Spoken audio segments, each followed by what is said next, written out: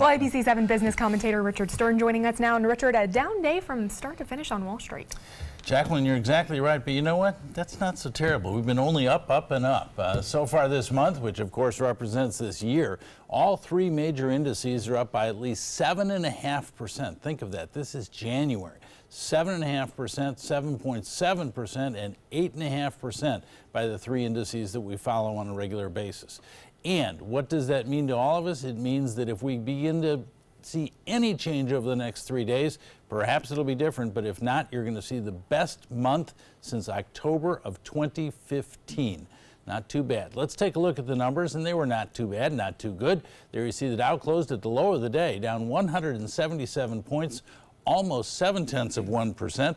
That closing is 26,439.48 on volume of 891 million shares. The NASDAQ also sharply lower, down by one half of 1%, 40 points at 7,466.51. That on volume of 1,648 million shares. And the S&P down exactly the same percentage as the Dow, down two-thirds of 1%, 19 points at 2,853.53. Well, fasten your seatbelts because you're in for quite a week on Wall Street. It starts tomorrow night with the State of the Union message by President Trump.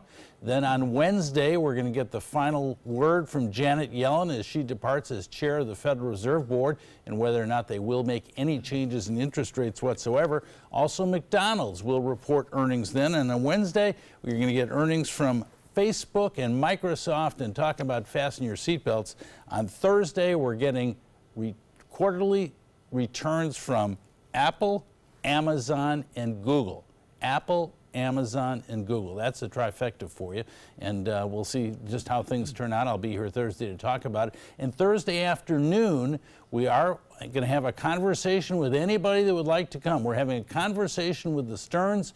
We're going to talk about economics. We're going to talk about financial planning, estate planning, the stock market.